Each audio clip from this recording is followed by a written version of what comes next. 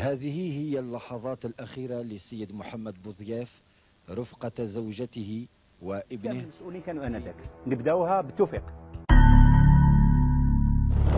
جنرال متقاعد اليوم. إحنا ما على بالناش باللي رايح. سمعتي؟ باش يزوج بنو نظن باش يزوج. زيارة خاصة نعم. زيارة خاصة. حسب حسب ما قال زوجته هنا. لا زيارة خاصة باش يزوج بنو إحنا ما على بالناش. باللي يزوج كنت قلت لسي سي محمد بوضياف قلت له مشكل الصحراء ما تعرفوش مليح. خليني أنا je gère le problème la fin de ساعة من ال من ال أكتوبر أكتوبر يا قيلة هو بات في جوه من سبتمبر ولا أكتوبر كاين la session de l'ONU خذ قرار. حاولوا أنهم يمسحوا هادشي بالإسلاميين ولكن بالنسبة للزوجه ديال بوضياف كانت في من الحوارات والأبناء ديالو كيقول الإسلاميين ما عندهم علاقة بهذه المسألة. حنا كنهضروا على البلاد ديال الكبرانات نهار 29 جوان كانت ذكرى خاصو يتفكروها الجزائريين. ديال اغتيال بوضياف إحنا نشوفوا هذا الدول اللي فاتتنا باش فاتنا فاتنا بالعلم. والدين تاع الإسلام.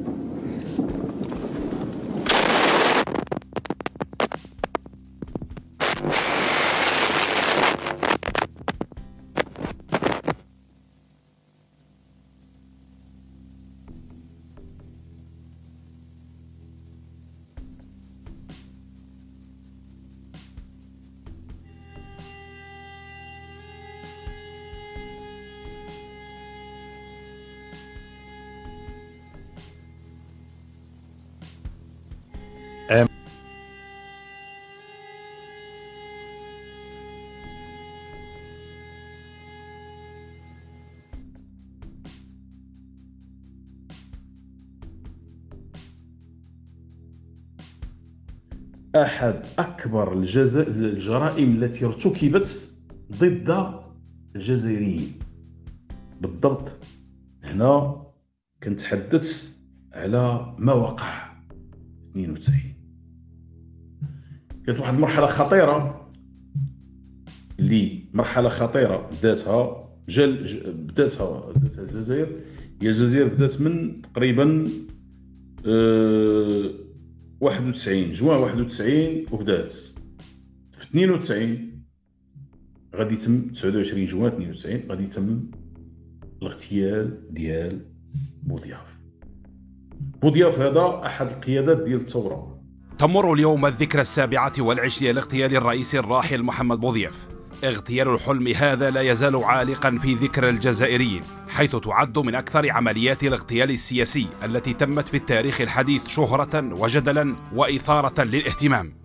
ليس لأنها طالت الرئيس الجزائري فحسب ولكن لعدة ظروف أحاطت بها كالتقاط كاميرات التصوير حادثة الاغتيال مباشرة واعتقاد الجزائريين أن هناك مؤامرة كبرى تمت من أجل اغتيال بوضياف بالرغم من اعتقال منفذ الاغتيال. عرف محمد بوضياف النور في الثالث والعشرين جوان من سنة 1919 أصيل مدينة المسيلة حيث درس ببوسعادة في سنواته الأولى. واحد من مفجري الثورة التحريرية الكبرى والرئيس الرابع للدولة الجزائرية وبعد الاستقلال اختار المغرب كمنفى له وبعد التعددية السياسية في الجزائر سنوات التسعينيات استنجدت به السلطة الحاكمة في البلاد آنذاك لإنقاذ الجزائر من حالة الانسداد والتوتر المتصاعد بين الإسلاميين والجيش. إن عودتي جاءت استجابة لنداء الواجب المقدس ووفاء لقيم ثورة نوفمبر ومبادئها وجاءت استجابة لمرحلة صعبة تمر بها الجزائر. جزائرية. هنا أول علامة كتقرأ. كيفاش كتجيب واحد من القيادات ديال الدورة ديال الثورة وكتم الاغتيال ديالو؟ شكون اللي اغتالو؟ اغتالو الكبرانات ديال فرنسا. جابوا واحد باش يعرفوا الجزائريين. هذا رمز من الرموز كان في المغرب. جالس. صافي بمعنى قطع العلاقات جالس لأنه عرف بأن الأوضاع ساءت. جالس. كيعيش الحياة ديالو جالس. كيجيو كيتصلوا بيه باش يمشي يولي رئيس باش ينقذ الجزائر حسب كما كانوا كيقولوا هما. فإذا به كتم تنظيم واحد العملية ديال الاغتيال ديالو أمام الشعب الجزائري. كلشي شافه في التلفزيون. كلشي شافه في التلفزيون. أنا كنتذكر أنا ذاك كنت كنقرأ في السنة الرابعة آه إجازة. كنتذكر هذاك الحدث. كلشي شافوه في التلفزيون في امام الملأ. حاولوا أنهم يمسحوا هذا الشيء في الاسلاميين ولكن بالنسبة للزوجه ديال بوضياف كانت في من الحوارات والأبناء ديالو كيقول الإسلاميين ما عندهم علاقة بهذه المسألة. هل كان على علم؟ تريد أن تقول كان على علم باغتيال الوالد سيد ناصر والله غير سؤال هذايا صعيب صعيب بزاف. ولكن شوف أنا نقول لك حاجة نتهم الناس اللي كانوا أنذاك مسؤولين نتهمهم بلي هما اللي عندهم علاقة مع الاغتيال تاع بوضياف كامل المسؤولين كانوا انذاك نبدأوها بالتوفيق جنرال متقاعد اليوم. وأنا هدرت عليه توفيق كي كان في DRS. صرحت في في الجرائد والكتاب تاعي راهو عندك. j'ai interpellé n'a jamais répondu واتهمته. نزار. bon اللي ماتوا خلينا منهم. العربي بلخير آه، إسماعيل العماري عباس غزيل سي غزالي روحي. هادو الناس كاع نتهمهم باغتيال تاع بودياف جوج اللي مسؤولين على العملية ديال آه الاغتيال. شكون هما؟ جوج. جوج. خالد نزار وتوفيق مدين. هذاك اللي سميتو عبد الحق أبو معرفي اللي ما ما معروفش واش قتل واش ميت ولا ولا كيقولوا باقي في السجن ولكن غالبا غيكونوا قتلوه. ما عندوش غير تهمه بمعنى عطاو هذه المسألة هذه لأن كاين البعض اللي كيقول لك بومعرف يبان ولكن ماشي بومعرف اللي يطلق النار. على على بوضياف هنا القضية ديال بوضياف توفي قتلوه. على السبب. جابوا بوضياف باش يكون رئيس دولة ومن بعد غيقتلوا به السبب هو أول حاجة البوليزاريو السبب الرئيسي لا مش خلافات على بالي بالمشكل على بالي بالمشكل. إحنا ما على بالناش باللي آه الرئيس رايح ل رايح ل رايح للمغرب. ما على بالناش على بالناش. ما على بالناش وما علمناش باللي راح المغرب ما علمناش باللي راح المغرب آه علمني آه، جنرال توفيق. قال لي آه سي بوضياف راهو رايح المغرب لازم آه وصلوا له باللي راهو رايح كرئيس. ما بقاش آه سي محمد بوضياف راهو رئيس. donc فيه بعض الاحتياطات بالنسبة له وخاصة العلاقات اللي بيننا وبين بين آه الملك هذيك الوقت وكل شيء. قال راهو il part en tant que en tant que président. تو واش تحب نقول لك واش pense que le سي. قال لي أنا ماذا بيا نروح نشوفهم راح شافوا سي التوفيق إحنا ما على بالناش باللي رايح سمعتي؟ باش يزوج ابنه نظن باش يزوج زيارة خاصة نعم. زيارة خاصة. حسب حسب ما قالت زوجته هنا. لا زيارة خاصة. باش يزوج ابنه إحنا ما على بالناش باللي يزوج ابنه. آه وقبل هذا الشيء أنا كنت كتبت مقال في كنت كتبت كتبت مقال لأن كنت قلت لسي سي محمد بوضياف قلت مشكل الصحراء؟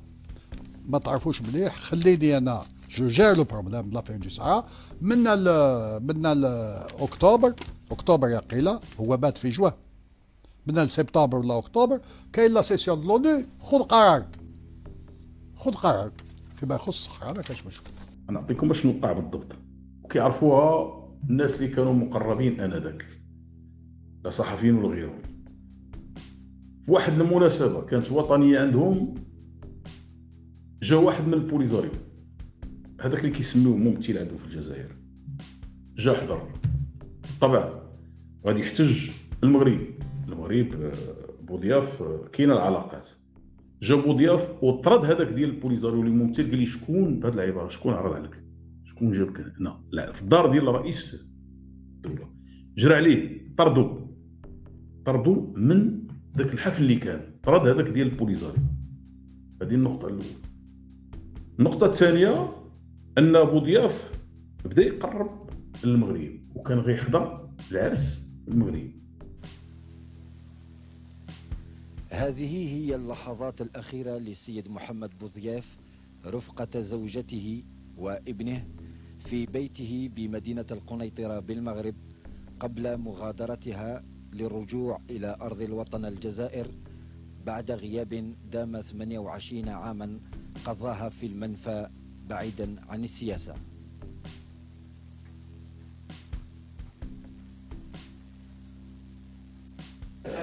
وهي تاع الرئيس والفراغ.